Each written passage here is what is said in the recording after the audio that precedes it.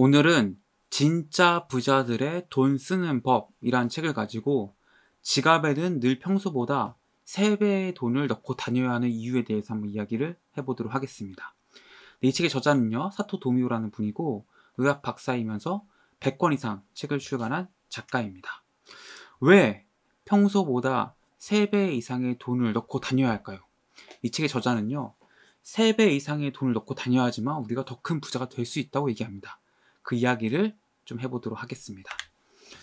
어, 여러분들은 자신의 감동 체험을 위해서 지금 얼마나 투자하고 있습니까?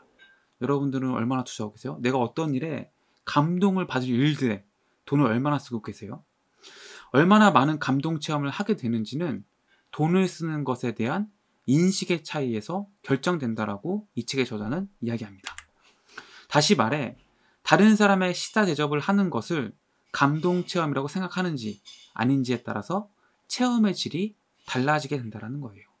예를 들어서 만약에 내가 다른 사람의 식사 대접 하는 것을 야 그거 다 부질없어 돈만 버리는 거야 돈 낭비야 돈 아까워 이렇게 생각하면은 다른 사람에게 식사 대접하지 않겠죠. 그럼 나는 다른 사람과 식사를 할 기회가 좀 줄어드는 거고 그러면은 다른 사람과 식사를 통해서 얻을 감동이나 이런 경험들이 점점 사라지게 되는 거죠.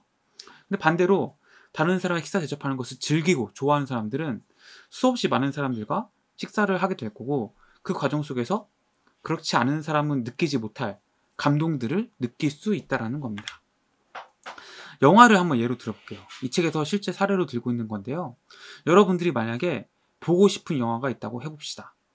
어, 그것을 딱 보면은, 야, 그 영화 너무 좋다. 감동적이다. 이렇게 생각할 수 있겠죠? 그거 자체가, 그 영화를 본다는 것 자체가 하나의 굉장히 가치 있고 의미 있는 체험일 겁니다. 이 체험이 여러분들의 삶을 어떻게 바꿀지는 충분히 예상해 볼 수 있겠죠. 그 영화를 보고서 여러분들의 생각이나 행동이 달라질 수 있거든요. 그런데 사실 우리가 비싼 돈 주고 영화관에서 꼭 영화를 볼 필요는 없거든요. 어, 한 달이나 두 달 정도 지나면은 이제 그것들이 다 IPTV를 통해서 우리가 집에서 편안하게 TV로 볼 수 있어요. 훨씬 더 저렴한 가격으로요. 그럼 여러분도 어떻게 하실 거예요? 영화관에서 비싼 돈을 주고 영화를 보시겠어요? 아니면은 한두 달 기다렸다가 좀 싸게 그리고 집에서 편안하게 영화를 보시겠어요? 그 사람마다 다를 텐데 이 책의 저자는 당연히 영화관에 가서 영화를 봐야 된다고 얘기하고 있는 거예요. 두 배, 세 배의 돈을 더 들여서라도요. 왜냐하면은 IPTV 영화 볼 수 있죠. 충분히 저렴한 가격에 편안하게 볼 수 있습니다. 하지만 그 영화에 대한 흥미가 점점 줄어드는 상태라는 거죠. 그래서 최초의 흥미보다 몇 분의 1로 줄어든 그런 감정 상태로 그 영화를 집에서 보게 된다면은 그 영화를 보는 건 똑같을지 몰라도 이 감동 체험을 통해서 받는 뇌의 그 자극은 현저하게 줄어든다는 거죠. 이 책의 저자가 강조하는 것은 바로 이 부분입니다. 뇌에 대한 자극. 우리가 뇌에 대한 자극을 잘 받아야지만 우리는 행동하게 되고 그 행동을 통해서 우리는 더 큰 성공, 더 큰 부자가 될 수 있다고 얘기하고 있습니다. 영화라면은 아직 볼 기회가 있을지 모르겠습니다. 하지만 전시회 같은 경우에 뭐 해외에서 되게 그 명화, 세계적인 그 화가의 전시회가 우리나라에 열린다. 이럴 때 만약 이 시기를 놓치게 된다면은 또 몇 년을 기다려야 될지도 모르고 또 몇십 년 기다릴지 모르는 거잖아요. 이처럼 전시회 같이 기회가 쉽지 않은 것들도 우리가 이 감동 체험, 감동 체험 기회를 놓치게 될 수 있다는 거예요. 돈이 아깝다는 이유로. 근데 이게 돈이 아까워서 뭐 만약에 안 봤어요? 그러면 나는 분명히 어제와 똑같은 오늘, 오늘과 별다를 거 없는 내일을 사게 될 겁니다. 하지만 만약에 이런 전시회나 영화 어떤 특정 감동 체험을 계기로 해서 내가 뇌에 큰 자극을 주고 그 뇌가 완전히 180도 달라지게 된다면은 나는 이전과는 완전히 다른 삶을 살게 될지도 모른다는 거죠.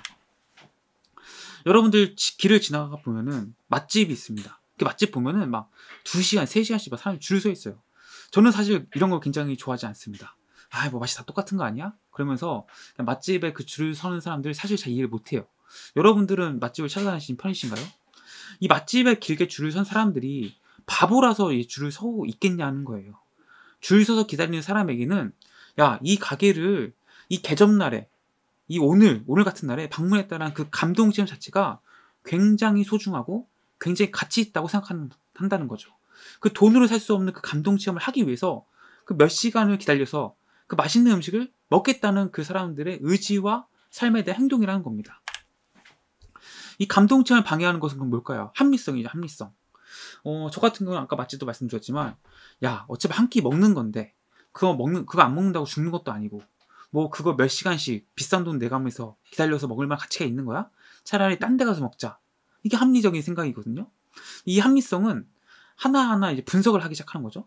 이게 과연 가치가 있는 것인지, 정말 이게 좋은 것인지. 근데 이렇게 하나하나 분석하기 시작하면 어떤 일이 생기느냐? 자신의 직관을 부정하게 됩니다. 야, 나 저 맛집 가서 먹어보고 싶어. 저 사람들 줄 선 것도 이유가 있지 않을까? 나도 한번 먹어보고 싶어. 이 직관을 내가 자꾸 거부하고 잘라내게 되는 겁니다. 그럼 어떻게 되죠? 내가 내 삶에서 경험할 수 있는 뭔가 신선한 경험이라든지 감동 같은 게 사라지게 되는 겁니다. 이런 합리적 사고 자체가 내 욕망, 내 내면의 욕망을 없애고 결과적으로 부자 되는 습관을 방해하게 된다는 겁니다. 낭비는 절대 안 해. 이 생각, 이 합리적인 생각이 결과적으로 어떤 결과를 낳게 되느냐. 뇌를 자극하는, 내 뇌를 자극할 수 있는 신선한 재료들을 등지게 한다는 거예요. 그래서 이 책의 저자가 제안을 하는 겁니다. 어떤 제안을 하느냐. 평상시에 3배 정도의 돈을 가지고 다니라고. 왜 3배 정도의 돈을 다, 가지고 다니는 걸까요?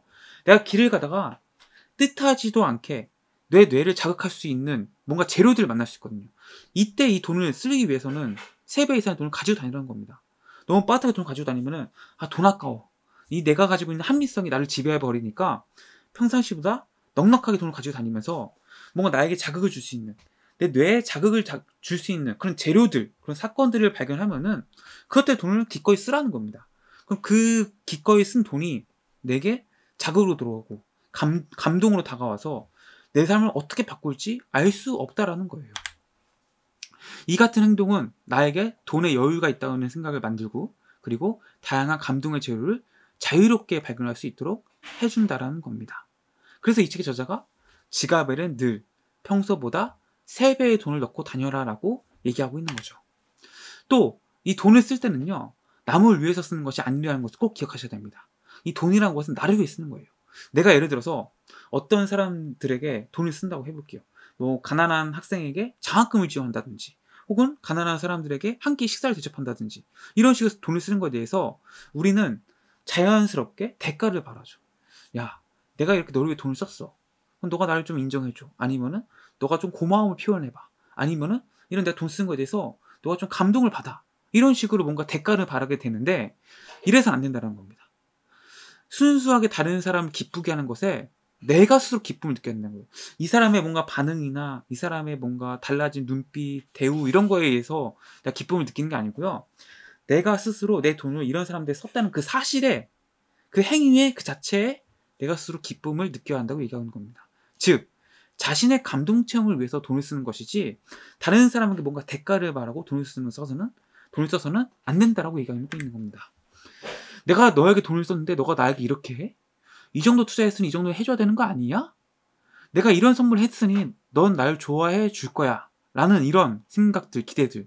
결국 이런 것들이 전부 다 남을 위해서 돈을 쓰는 건데, 남을 위해서 쓴다는 것은 남에게 뭔가 기대를 하게 된다는 거죠. 근데 우리가 어떤 사람을 좋아하게 됐을 때, 내가 너에게 이렇게 비싼 명품백을 사줬으니까, 너도 날 좀 좋아해줘. 라고 하는 그런 연애들을 보면요. 다 실패합니다. 왜 연애의 본질은 사실 명품백이 아니거든요. 그래서 이런 대가를 바라는 뭔가 돈을 쓰는 거, 대가를 바라는 돈을 쓰는 것은 절대 바람직하게 돈을 쓰는 것이 아니다. 돈이라는 것은 나를 위해 쓰는 것이다. 즉, 돈을 위해 나, 돈은 나를 위해 쓴다는 것은 나의 감동 체험을 위해 쓰는 겁니다. 내가 만약에 어떤 가난한 학생에게 돈을 쓰는 것 자체가 야 내가 그래도 이렇게 잘 살게 됐으니까 그 이런 어려운 학생을 도울 수 있네? 그 스스로에 대해서 기뻐할 수 있고 만족할 수 있다면 기꺼이 돈을 쓰는 겁니다. 그것은 이 학생이 잘 되길 위해 잘 되길 바라는 마음, 이 학생이 내가 이렇게 장학금을 주는 거에서 고마움했으면 하는 마음 이걸 바라고 하는 게 아니고요. 나 스스로 그냥 야 내가 이렇게 돈도 많이 벌었으니까 다른 사람 도울 수 있네? 그 자체에 대한 그 행위 자체에 대한 만족감과 뿌듯함 거기에 돈을 쓰는 거라는 거예요. 그 감동을 내가 사기 위해서 쓴다는 거죠. 그래서 여러분도 앞으로 돈을 쓰실 때는 이렇게 돈을 쓰셔야 되는 겁니다. 여러분들을 행복하게 만드는 거, 여러분들을 자극할 수 있는 거, 여러분들을 뭔가 어떤 감동을 줄 수 있는 거, 거기에 기꺼이 돈을 쓰라는 겁니다. 뭔가 대가를 바라고, 뭔가 내가 너한테 이렇게 썼으니까 너도 나에게 이렇게 해줘야 돼. 이런 생각을 바라고 돈을 쓰면은 이거 잘못 쓰는 것이다. 그렇게 그런 곳에 돈을 하나 둘 나를 위해서 돈을 하나도 쓰다 보면은 그것들이 결국 내 생각을 바꾸고 내 행동을 바꾸고 내 삶을 바꾸게 된다고 이 책의 저자는 얘기하고 있습니다. 그래서 여러분들 돈 어디에 써야 된다고요? 여러분들의 감동 체험을 위해 써야 된다.